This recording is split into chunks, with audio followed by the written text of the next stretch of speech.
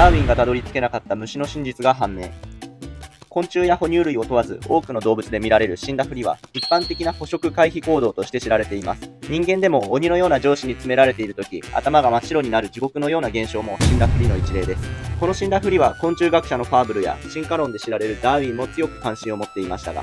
不思議な行動は世界の誰も十分なデータで研究はしていませんでした。そこで人類が持つ謎を一つ解明したのが岡山大学の研究チームです。今回生息している緯度が高くなればなるほど、北に行けば行くほど昆虫は死んだふりを高頻度かつ長時間行うことを明らかにしたのです。異なる緯度に生息する虫の間で死んだふり行動に違いが見られた原因としては、緯度に伴う捕食圧の変化によって死んだふり行動の進化が異なっていた可能性があるとされています。研究対象となったコクヌストモドキは米などを食す害虫です。この研究で得られた地域により捕食回避行動が異なるという知見は、今後より効率の良い害虫防除法に活用されることになるかもしれません。死んだふりに違いがあるなんて誰が想像したでしょうか私たちが知らないうちにダーウィン越えの世紀の大発見をしていたのでした。